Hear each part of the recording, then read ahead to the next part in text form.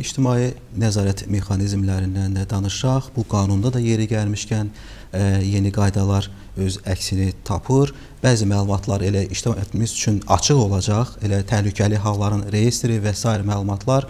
Ə, istəyərəm ki, bu kontekstdə yanaşaq. Hər halda bir agentliyin də bir devizi var idi biz e, dəfələrlə vurğulayırdıq ki, qida təhlükəsizliyi məsələsi tək bir dövlət qurumunun işi deyil, eyni zamanda ictimaiyyətin işi olmalıdır. Mexanizm bu institut təkmilləşdirməlidir. Bununla bağlı istəyirəm ki, fikirlərinizi öyrənək. Çox gözəl sualdır İlkin müəllim. Dediyimiz hər bir məsələ, danışdığımız hər bir mövzu əslində yekunda ictimai nəzarətə söykənir. Bəli. Hətta baxın daha öncə dediyimiz məhsulların qeydiyyatı.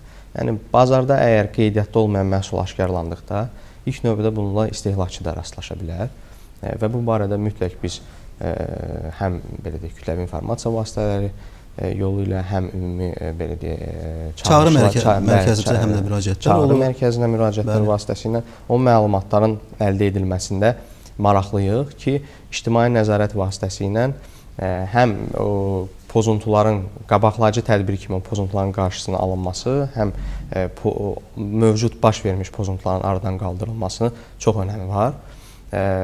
Açıq reyestrə toxundunuz siz. Bəli. Təhlükəli halların açıq reyestri ilə bağlı bildirmək istəyirəm ki, bununla bağlı qanunda xüsusi tənzimləmə müəyyən olmuşdur və Hı -hı. bu məsələ ilə də bağlı bir e, normativ hüquqi aktın Nazirlər Kabineti tərəfindən qəbul edilməsi gözlənilir.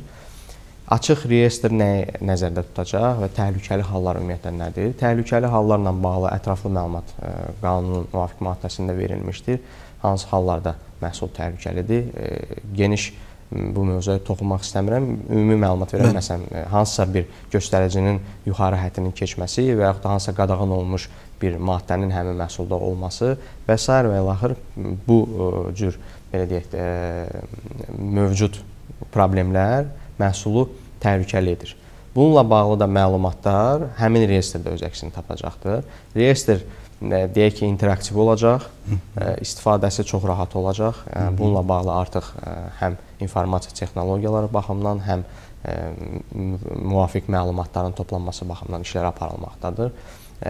Hər kəs istənilən istehlakçı, istənilən şəxs belə deyək, həmin reyestrdə açıq reyestr olduğuna görə həmin reyestrə daxil ola biləcək, məlumatlarla tanış ola biləcək və ictimai nəzarətdə bunun önəmi nədir? Həmin reyestrdə əksini tapan təhlükəli hal e, artıq bizə məlumat verir ki, filan məhsul e, filan göstəricilər baxımından təhlükəlidir. Artıq bu məhsulla bazarda rastlaşdıqda həmin məhsulu həm istehlakçının öz hüququdur ki, onun qarşısını alsın, e, onun belə deyək də bazardan yığışdırılmasını tələb etsin və mütləq vəzifəsidir ki, Qida Təhlükəsizliyi Agentliyinə də məlumat versin ki, agentlik də dövlət nəzarət tədbirləri çərçivəsində öz tədbirlərini görə bilsin. Bu həm də bizə bir agentlik olaraq da nəzarətimizi daha yaxşı şəkildə təşkil etməyə Hə öz töhfəsini vermiş olacaqdır.